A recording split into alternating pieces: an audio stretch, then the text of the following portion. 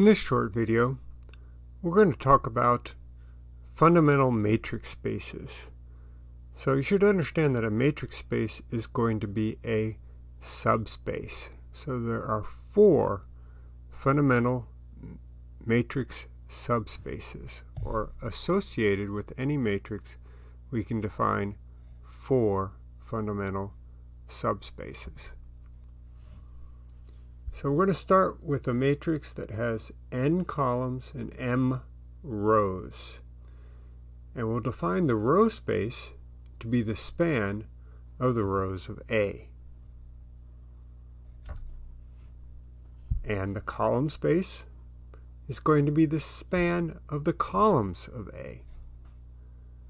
The null space is the set of all solutions to the homogeneous equation ax equals 0. Now I said there were four, and there are four, but before we can discuss the fourth fundamental matrix space, we have to be able to uh, transform the matrix, well, in a very simple way. What we're going to do is interchange the rows and the columns of the matrix A to create a new matrix which we call A transpose or the transpose of A.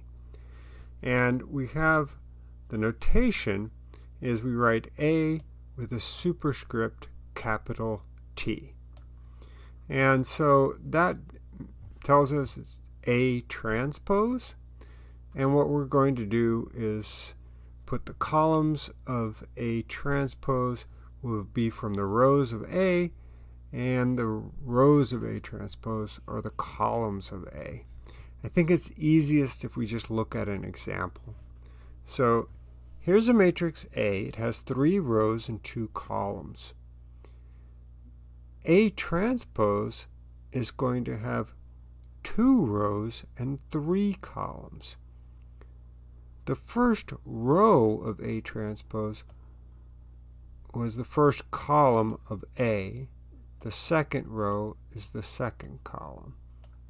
Or you could look at it as the first row of A becomes the first column of A transpose. And the second row becomes the second column of A transpose.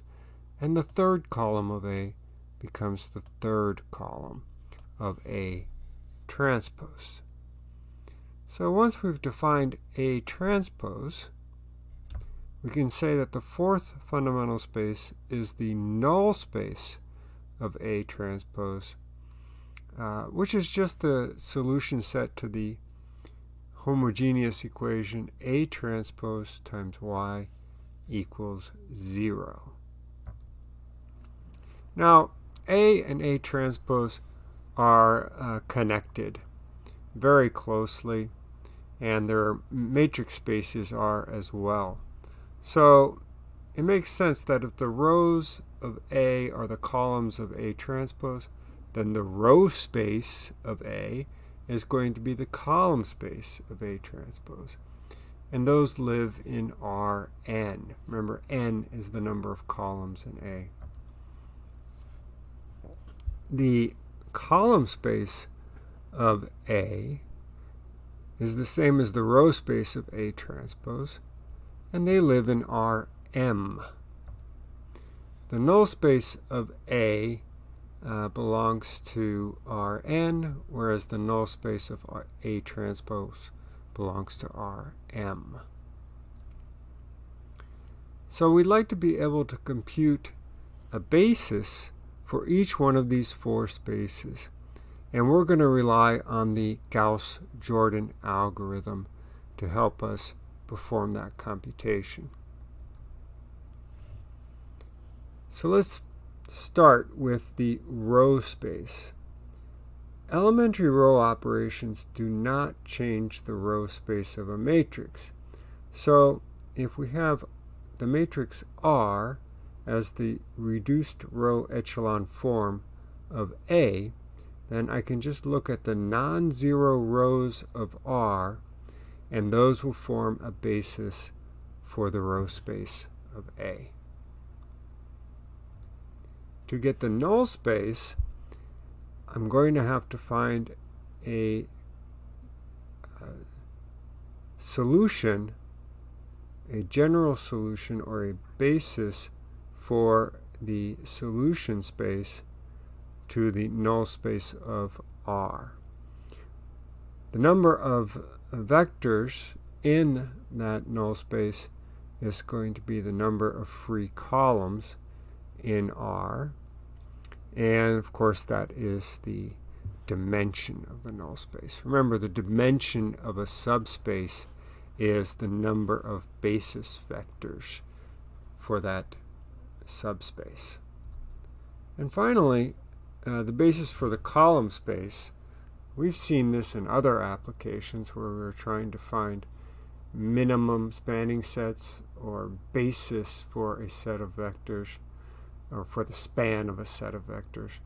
Uh, the columns of A corresponding to the leading columns of R form a basis for the column space of A. And what would we do for A transpose, or the null space of A transpose? Well, we would apply the same theorem here. We would have to take A transpose, transform it to reduced row echelon form.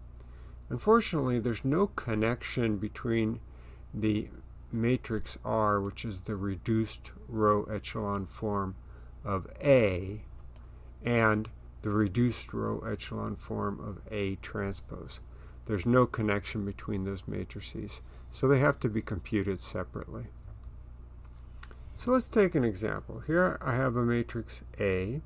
It has four rows and five columns, and I've already found the matrix R, which is the reduced row echelon form of A.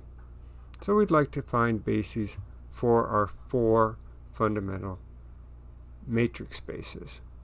Well, first let's start with the row space. I can see that there are two rows which are not all zeros.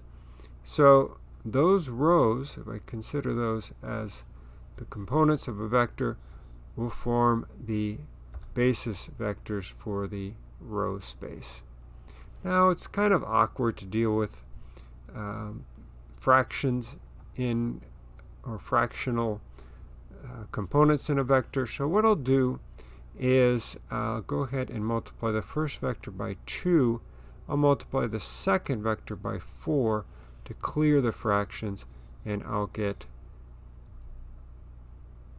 alternate basis vectors. They're still basis vectors.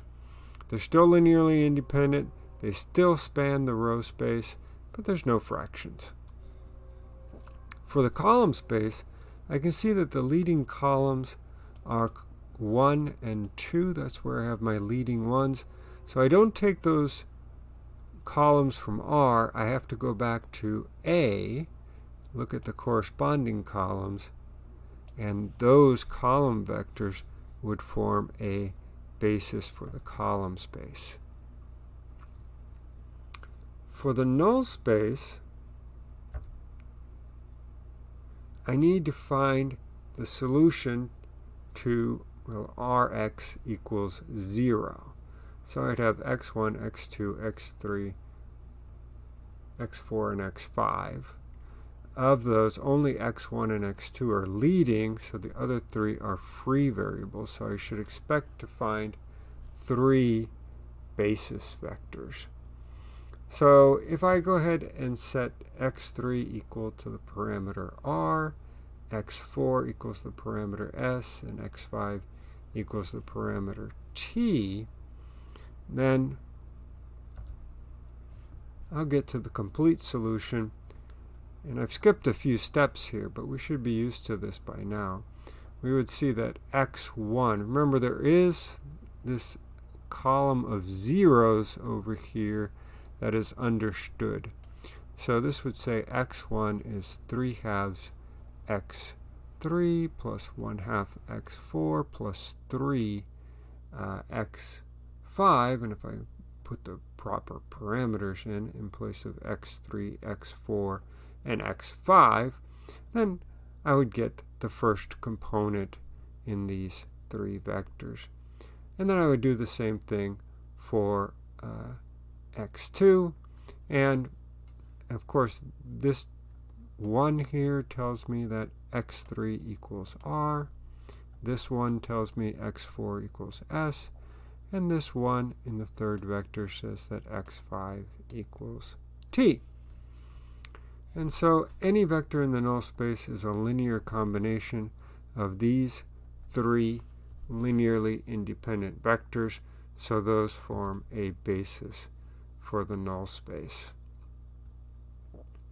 Now, if you look at these vectors in the null space, there is a, a, simple pattern, and so it's possible to do sight reading. So you can just read the basis of the null space from the reduced row echelon form.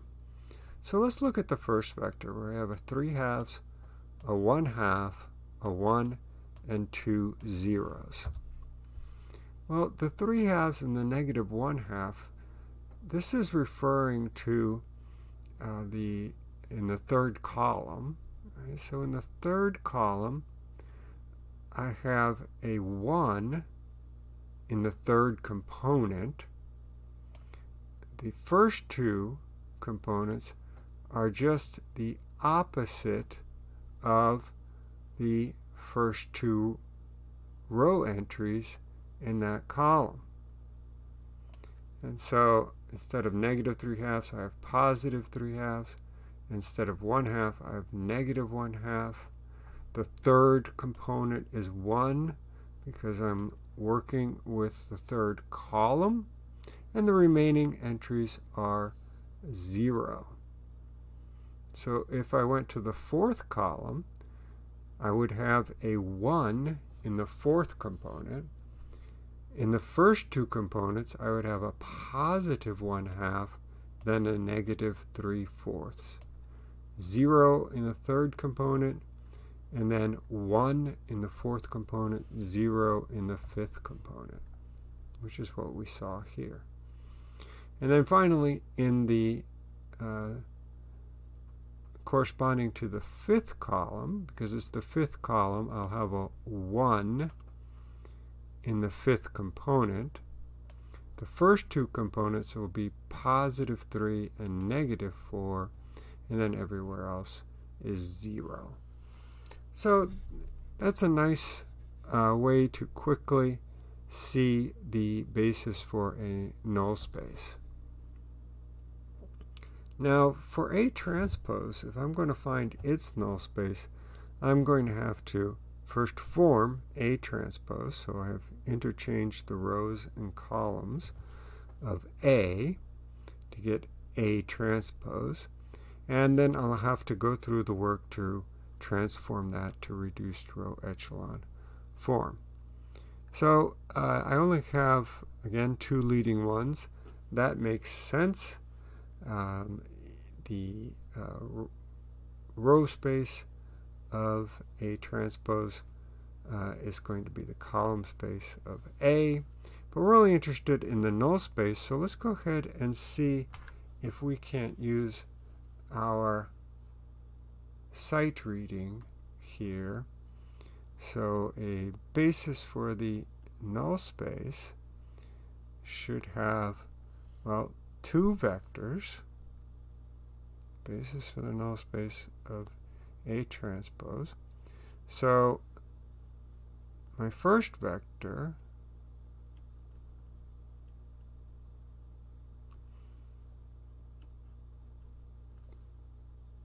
I'm going to have the opposite of these entries. So I'm going to have a negative 1, another negative 1, it's the third column, so the third component is going to be 1, and the fourth component is 0. So now remember that what we're solving here is A transpose Y equals 0. In order to make this multiplication defined, y should have the same number of components as there are entries in each row. So in order to make this matrix vector multiplication, so that's how I know that I'm going to have four uh, components. And then the second vector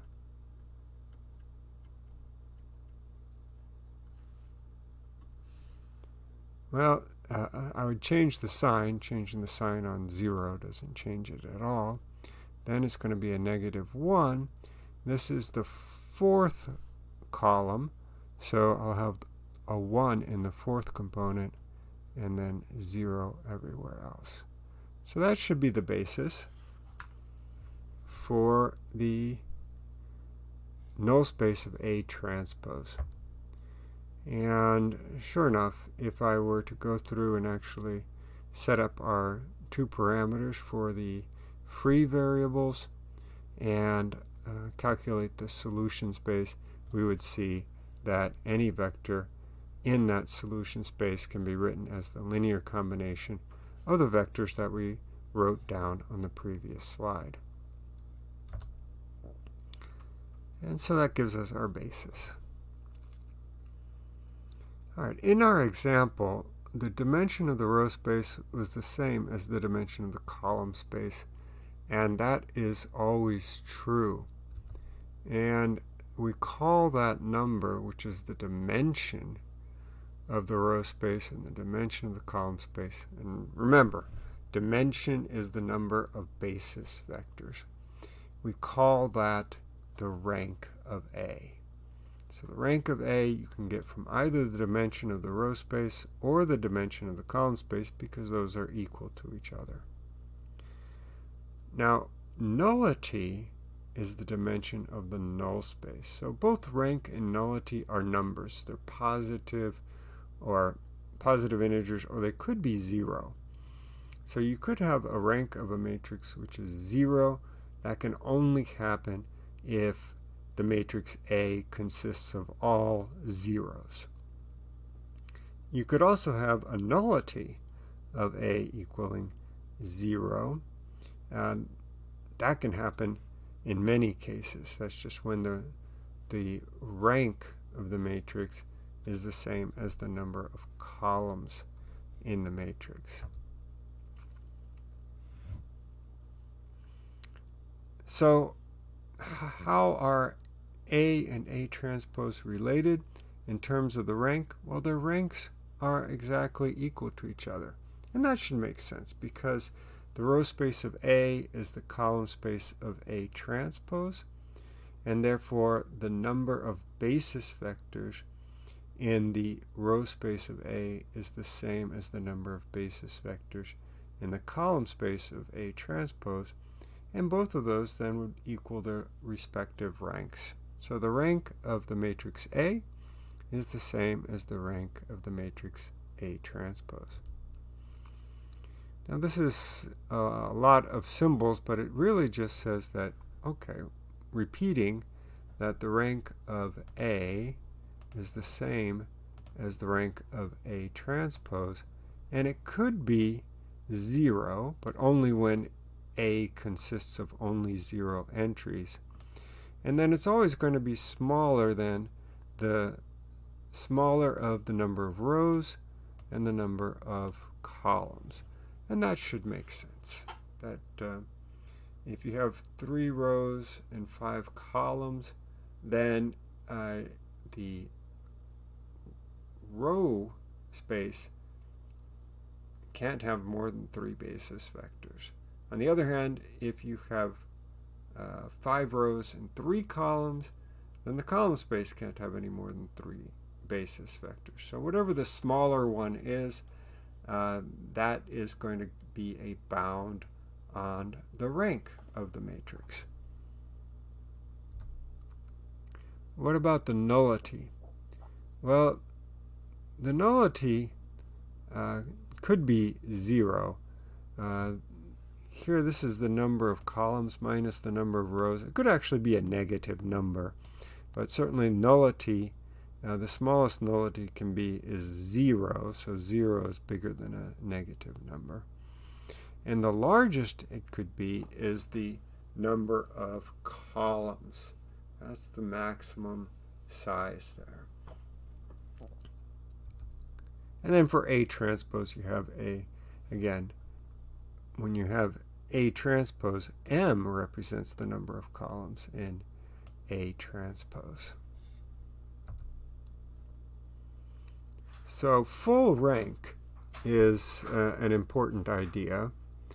Uh, we say that the matrix A has full rank if its rank is equal to the smaller of the number of rows and the number of columns.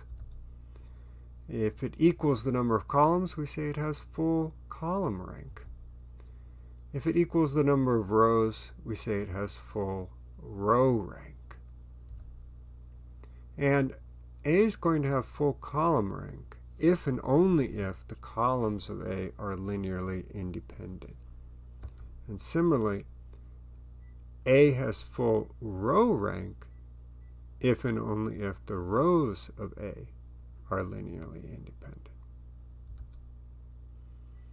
And there's a very nice formula which connects the rank and the nullity of a matrix, which says that if you have a matrix with m rows and n columns, the rank of A plus the nullity of A is going to equal the number of columns.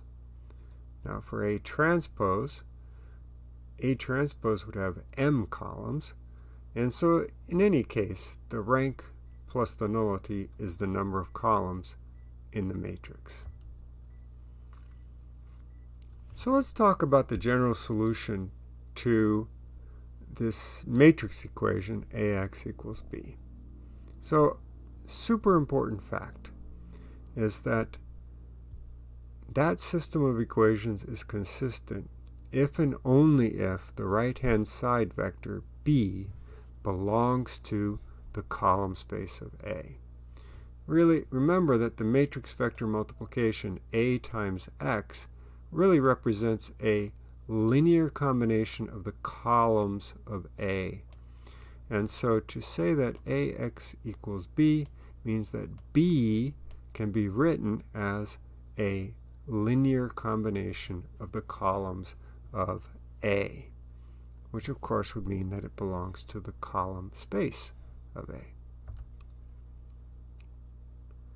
So now consider, well, if you have a consistent system, so B is in the column space, B can be written as a linear combination of the columns of A, we're just going to pick one solution. There could only be one solution, but there may be infinitely many solutions. We're just going to take one. We're going to call it a particular solution, and that's why we put the subscript p. x sub p is just one solution.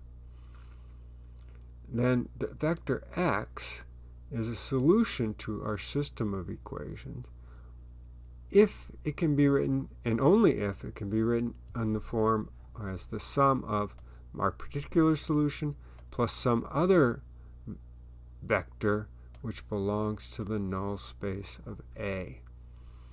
So if you think about this, if I do the vector algebra here, if I multiply A times the vector x,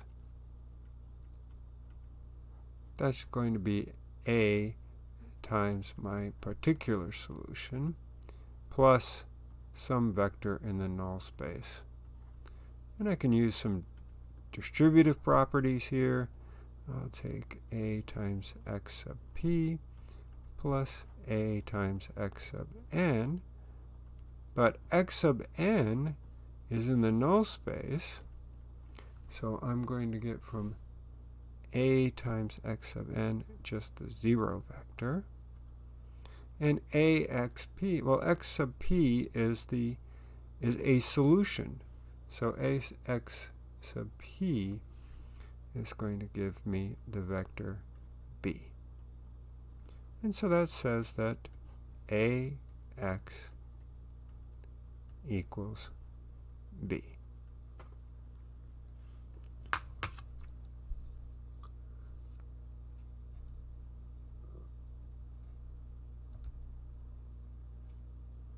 So we're going to introduce a new concept. It's called a translate.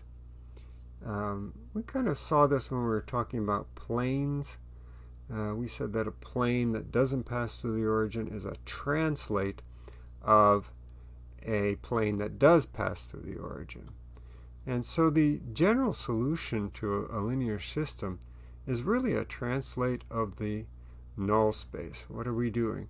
We're taking the x sub n represents the vectors in the null space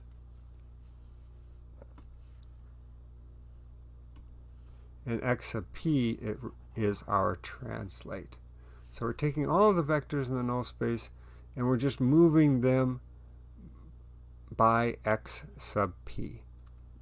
Now you have to be a little bit careful here. Obviously the null space is a subspace, but when you take a translate with a non-zero vector, uh, the resulting translate is not a subspace. And that should be clear because it's not passing through the origin. The origin is no longer in that translate. And so the solution set of our matrix equation is a translate of the null space of A. All right, so let's look. We're going to create a little table here. We're going to look at the general solution when you have a full rank coefficient matrix. So the matrix A is full rank. If I have an underdetermined system, which means that I have more variables than I do uh, equations, and the shape would be something that is short and wide, then that system, when you have full rank, so this is very important, everything we're talking about in this table is assuming that we have a full rank matrix. Under those conditions, then this underdetermined system is consistent for all right-hand side vectors. And you will always have an infinite number of solutions. If you have a square system, which is full rank, then again, it's still going to be consistent for all right-hand sides. But you only get exactly one solution. And finally, if we have an overdetermined system, uh, so we have a, a, something that is tall and thin, uh, then we have to be careful here. This is going to be consistent only when the right-hand side vector belongs to the column space of A. Otherwise, it'll be inconsistent. But if it is consistent, you'll get exactly one solution. So we'll definitely be connecting these fundamental matrix spaces to uh, many other topics throughout the course. And in particular, we're going to be looking at how they help us understand the solution set to a system of equations.